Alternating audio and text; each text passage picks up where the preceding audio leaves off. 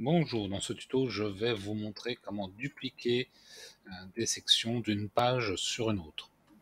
Alors, pour l'exemple, je vais copier l'intégralité de cette page qui, euh, comment je veux dire, qui a plusieurs sections pour la coller sur cette page qui, vous voyez, pour le moment est vierge. Vous n'avez que l'entête et le pied de page. Donc, pour ce faire, on ouvre l'administration des deux pages de chaque côté, donc la page vierge et la page qui sert de modèle. Et donc en fait, on, va euh, aller euh, sur la barre d'outils de chacune des euh, sections. Vous faites un clic droit, cliquez sur copier. Ensuite, vous vous rendez sur la page où, où dupliquer la section et vous faites un clic droit coller. Donc là, on a la première section. Alors, j'ai pris volontairement ce modèle de page, puisque vous voyez que là, on pourrait croire qu'il manque euh, la colonne latérale, pardon, la fameuse colonne latérale qui est ici, mais en fait non. Pourquoi?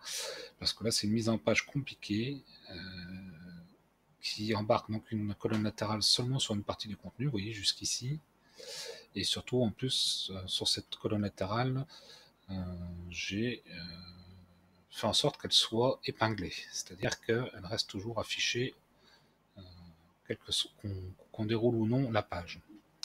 Sauf bien sûr jusqu'à la deuxième partie de la, page en question. Donc pour vous montrer que ça a bien copié, on va continuer.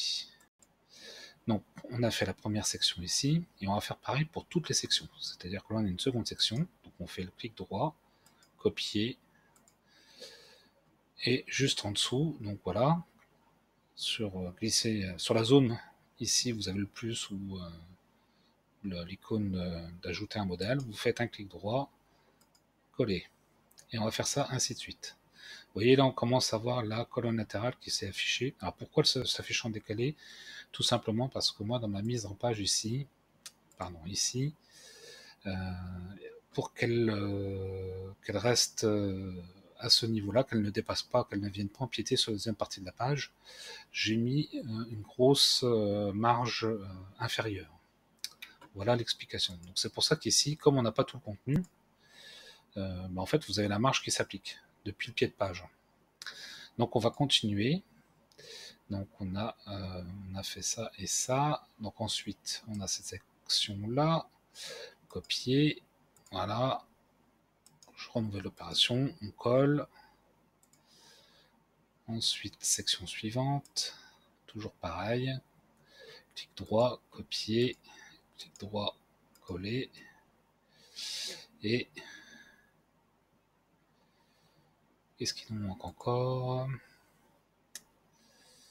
Non, ça devrait être bon. Tout simplement, dans l'éditeur, ça s'affiche pas forcément super bien. Donc je clique sur mettre à jour. Je vais remettre ma page là. Donc vous voyez, on a la page vide. C'est enregistré. Donc je renouvelle ma page. Voilà.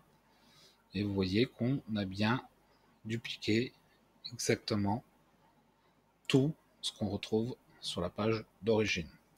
Alors bien évidemment, pour une page, mieux vaut passer par les modèles de page, euh, c'est-à-dire vous enregistrez la page complète comme modèle si vous souhaitez l'utiliser ailleurs sur votre site. Euh, vous pouvez également faire pareil pour les sections, les enregistrer comme modèle pour pouvoir les réutiliser ailleurs. Cependant, euh, je vous avais montré cette façon de faire. Pourquoi? Parce que c'est une façon qui va plus vite, on va dire, pour copier une ou deux sections. Euh, et surtout, euh, bah, si vous enregistrez tout comme modèle, au bout d'un moment, vous allez vous y perdre dans votre bibliothèque de modèles. Voilà, bah, écoutez, j'en ai maintenant terminé avec ce tuto. Donc je vous invite à le partager, à le liker, et je vous dis à bientôt. Ciao, ciao